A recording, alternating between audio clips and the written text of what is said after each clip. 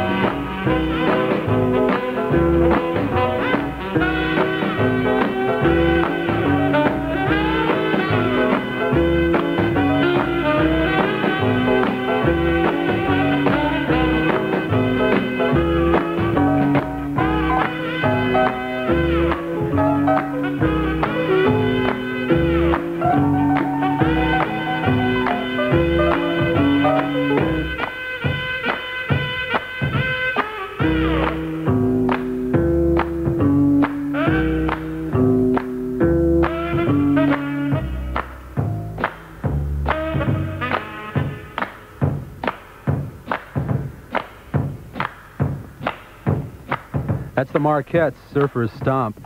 That record was produced by Joe Saraceno, and Joe was watching some young dancers around the early 60s who were into the surf scene, and they were going to a club called the Rendezvous where Dick Dale and the Del-Tones played. They were doing a dance called the Surfer's Stomp, and Dick never recorded a song called Surfer's Stomp. He called his Let's Go Trippin', and it sparked off an idea in Joe's mind, got the Marketts together, helped write the tune, came out, Surfer's Stomp. It was a national hit. He also produced our theme, Let's Go, by the Rooters, and they followed it up with this song. Let me check out my horn right now. Yeah, it works.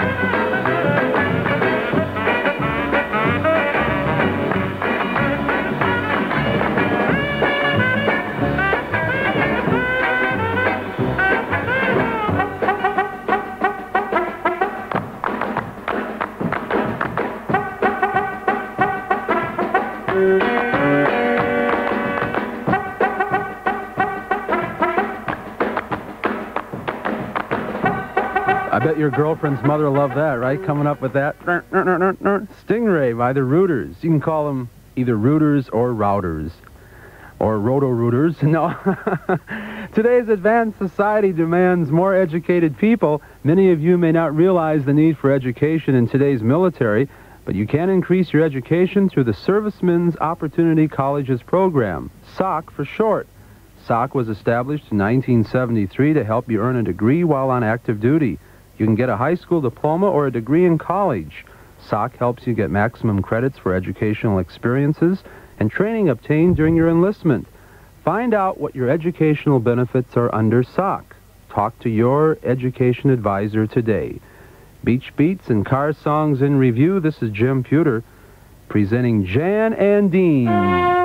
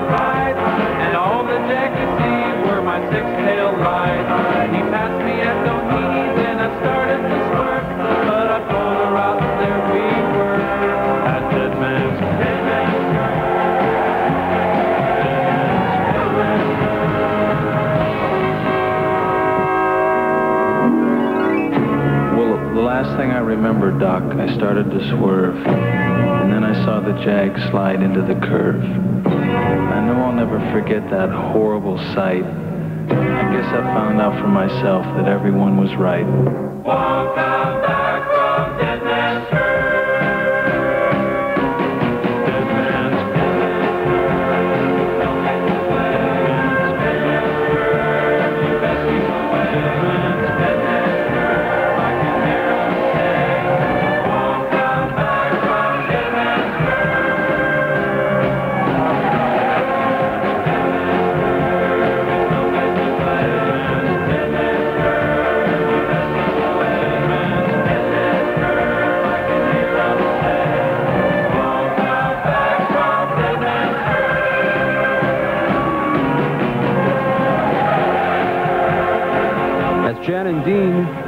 1964, Dead Man's Curve, the story of Jan and Dean, was featured in a CBS television show several seasons ago. It was called Dead Man's Curve.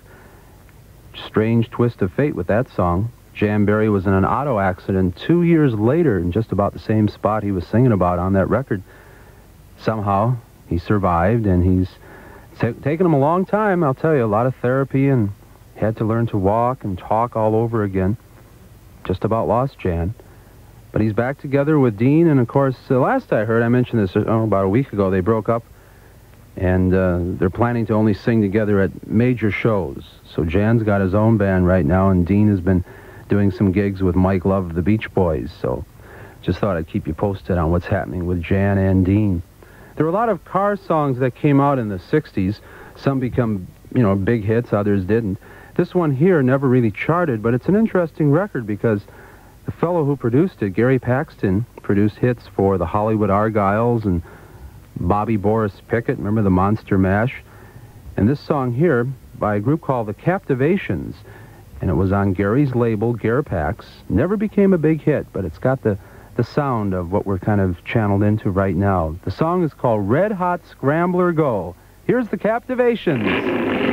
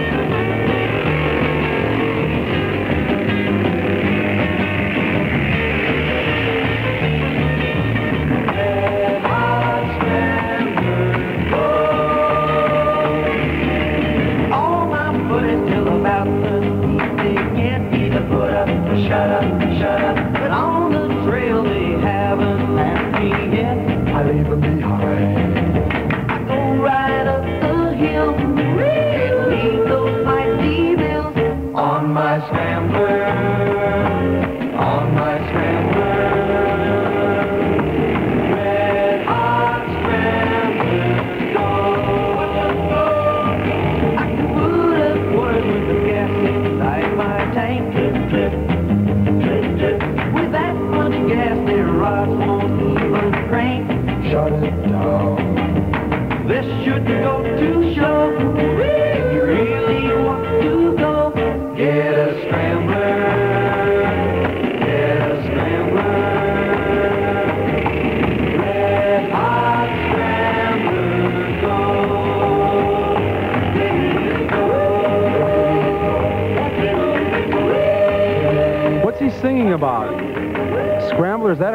Motorcycle. Maybe it's a dune buggy, you know, an early one. I, I don't know. It's got that sound, though, that uh, sounds like the Hondells or who else, maybe. Red Hot Scrambler. Got to have a voice kind of like that. I'm going to take you up in the... Right? Oh, my. Gary Paxton was into a lot of music, and that was one that he put out on his own label, Gary Pax Records. Hey, coming up tomorrow will be Battle of the Surf Rock Groups. We'll have the Beach Boys, Pyramids, Dick Dale and his Del-Tones, Jim Messina and his Jesters. You didn't know that Jim Messina had a surf group in 64. You'll hear one of the cuts. They're going to battle it out, and then we'll have a winner. Now, you don't have to call or anything like that. We're going to do it all through our mind. I'll tell you more about it tomorrow. We'll have a runoff on the winner. And that'll be Battle of the Surf Rock Groups right here on this station. Hey, man, who's driving? Not me. What do you mean, not you? Hey, man, let's split. Who's driving? Not me. Not me. What do you mean, not you?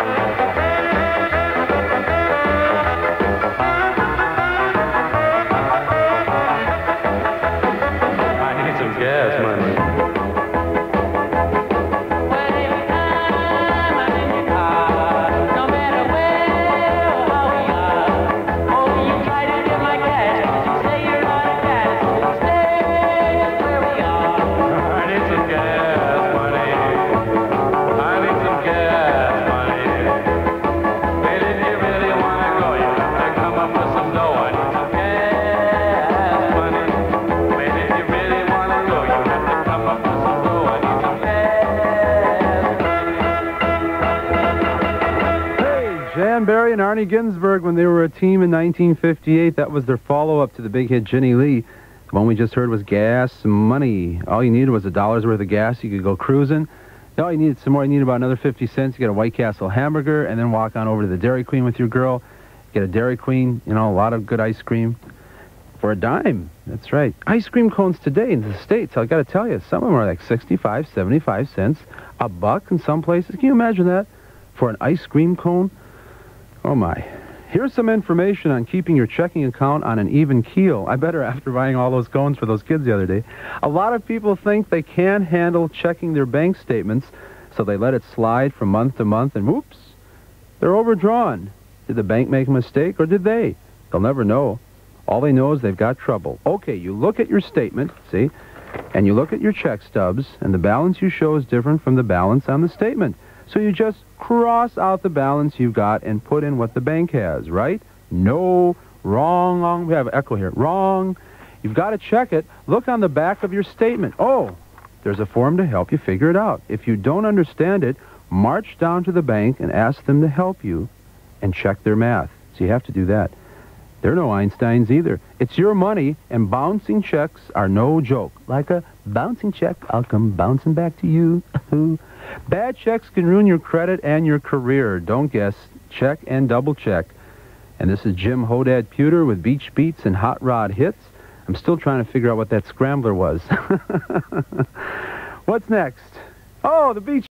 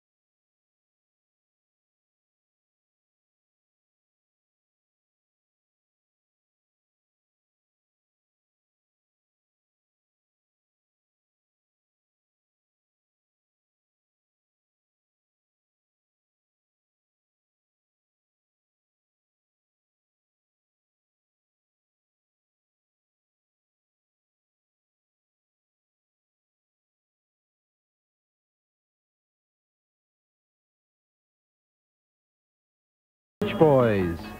I bet you never knew that Bobby Fuller of the Bobby Fuller Four cut a surf record two years before he had his big hit, I Fought the Law and the Law Won. Bobby hailed from El Paso, Texas.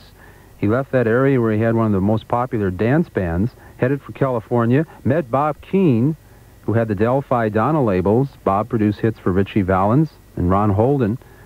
And all of a sudden, uh, things started to work out with uh, Bob and uh, Bobby Fuller. They started recording some sides, and this was one of the first records Bobby cut in Hollywood on the Donna label, and it wasn't a hit, but it shows you his um, versatility because he's not singing on this. He's playing lead guitar, and he really captures that surf rock sound. The song was called Our Favorite Martian, and it was released in 1964. Here's Bobby Fuller.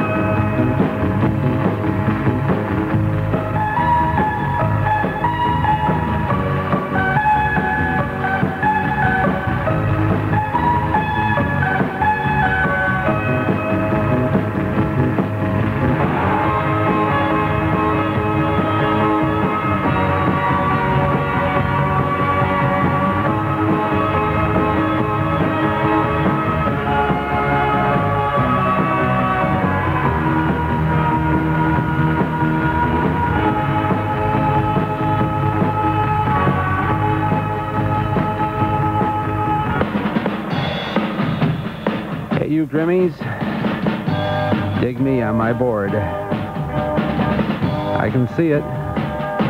Shooting the curl with the Safaris. This is the story of Surfer Joe.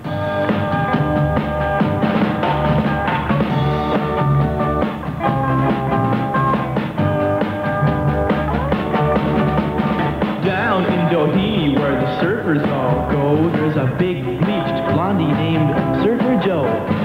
Got a green surfboard with a woody to match, and when he's riding the freeways, man, is he hard to catch.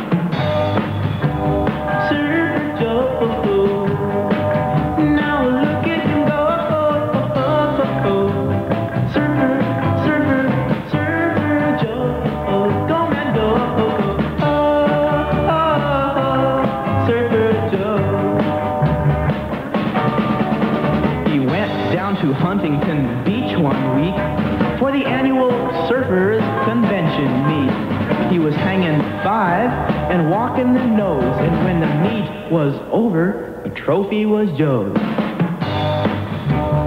Surfer Joe, now look at him go. Surfer, surfer, surfer Joe, go man go. Surfer Joe. Okay, let's go.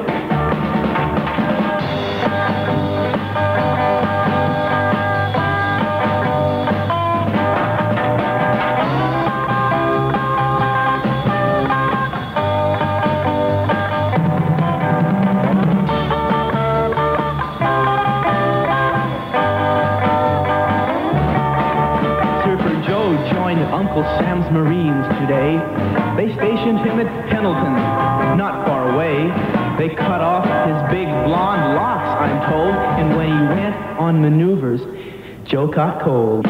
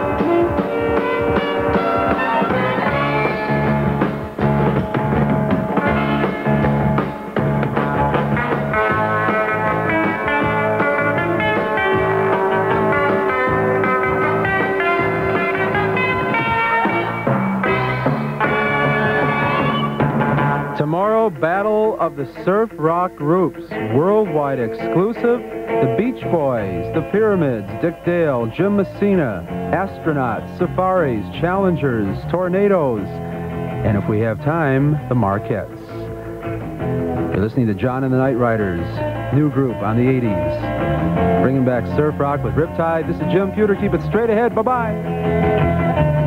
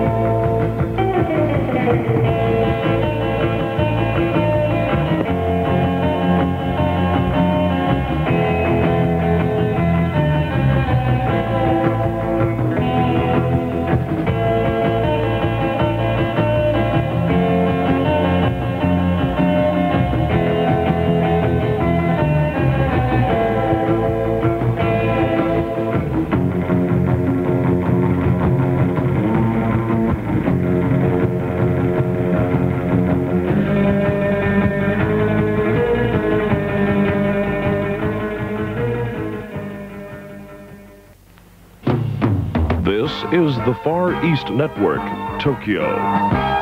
The Yokota High School Advisory Committee is holding a meeting tomorrow night in room 21. All parents and teachers are invited to attend. Again, at 7 p.m. tomorrow, the Yokota High School Advisory Committee will be meeting in room 21. If you'd like more information on the High School Advisory Committee meeting, call 225 7018. American forces reign